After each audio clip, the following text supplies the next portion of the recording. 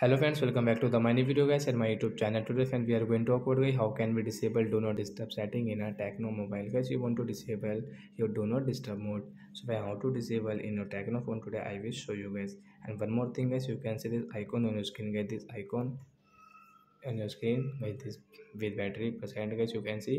So as you want to off this icon guys you want to remove this icon on your screen. So you can remove so first of all guys what will you have to do guys? You will have to click on guys your phone setting to disable do not disturb. Then guys scroll it. Friends you can see sound and vibration setting guys. Click on sound and vibration setting.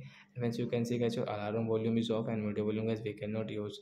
So you can use it. How? Guys click on do not disturb guys. Tap here. Do not disturb by right side is icon guys. You will have to tap here guys. Do not disturb will disable. Icon will remove on your screen. And then you can use your alarm. And guys media volume you can increase and decrease from according to yourself. So like that guys you can disable the do not disturb setting and guys you can use your volume setting without any problem in your Tecno phone. So i hope friends you've understood how to disable do not disturb mode option in our Tecno mobile. So that's it guys. Thanks for watching the video. Bye guys. Before going please go and like the video